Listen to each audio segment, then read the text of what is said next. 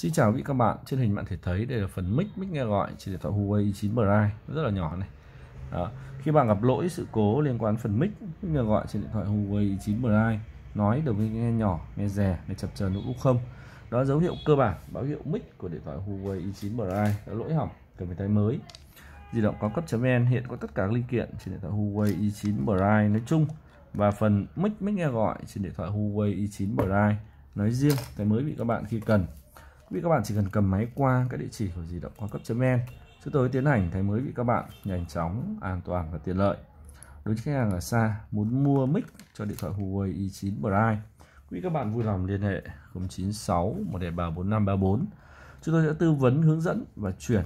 à, phần mic của điện thoại Huawei i9 Prime đến tận địa chỉ hàng yêu cầu. Quý hàng nhận được